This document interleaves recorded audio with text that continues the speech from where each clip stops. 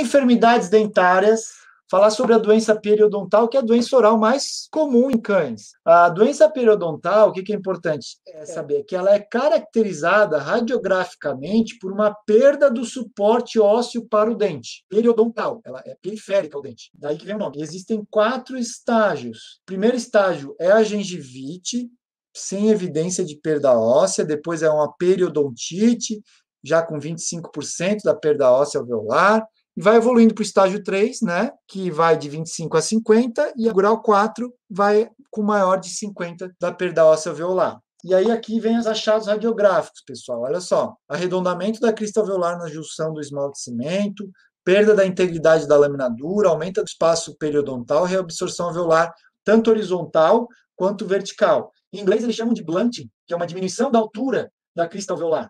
E aí há um afinamento, uma, uma irregularidade da laminadura na margem gengival, ao aumento da largura do ligamento periodontal, que é geralmente mais pronunciado na margem gengival, e esse alargamento pode eventualmente estender todo o caminho até o ápice do dente, permitindo então que a infecção entre no sistema de canal radicular do dente através de pequenos canais. Isso é denominado então uma periendo classe 2. Então tem que tomar cuidado também que essas doenças, a doença periodontal, ela pode evoluir para uma doença endodontal. Doido, né, cara? Esses dentistas são muito loucos, velho. São muito loucos. E olha só, como que eu descrevo daí? Olha que interessante, né? Eu posso ter perda óssea horizontal ou vertical, ou até uma mista entre as duas.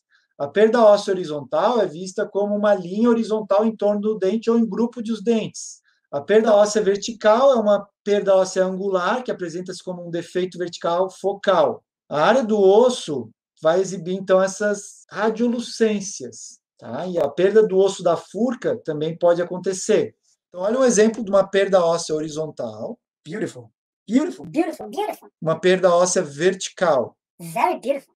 Aqui já está começando uma radiolucência também, tá vendo? Nas duas raízes. Aqui, inclusive, essa raiz está estranha, pode ter uma avulsão dessa raiz aqui já. Olha aqui, ó, expansão óssea bucal do maxilar, isso também é um sinal que pode indicar, olha essa expansão aqui ó, dos dentes, pode indicar doença periodontal.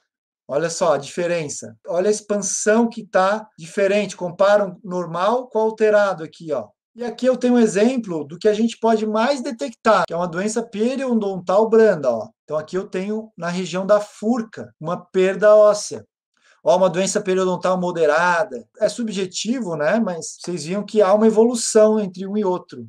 E olha uma doença periodontal acentuada. Vixe, Maria. Outro exemplo de doença periodontal acentuada, não tem mais osso sustentando aqui o dente. Então isso aqui é gravíssimo, né? Pensa, só uma cara e já dói pra caramba, imagina isso aqui, né, cara?